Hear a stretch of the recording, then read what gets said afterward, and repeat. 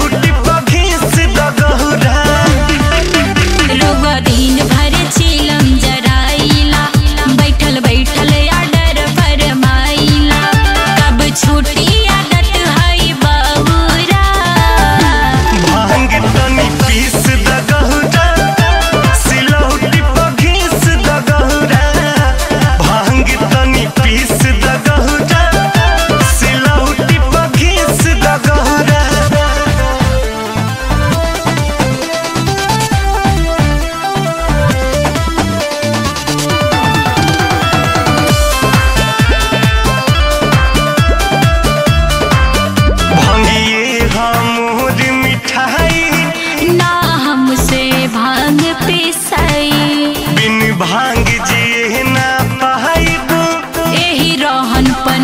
हरे जाइब। भमिए